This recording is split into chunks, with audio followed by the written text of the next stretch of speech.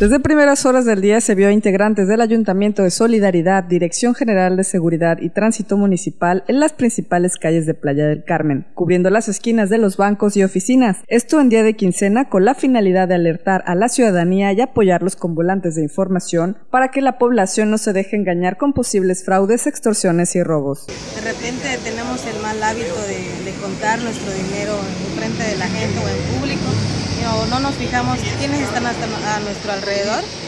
Y este, pues más, que nada eso, para, para prevenir a la gente que tenga más cuidado al venir a los bancos, al retirar su dinero, este, a fijarse quiénes están a su alrededor. Eh, pues así tener más cuidado con, nosotros mismos, porque ese mal hábito nunca, debemos de cuidar de, no hacer, de no hacer eso.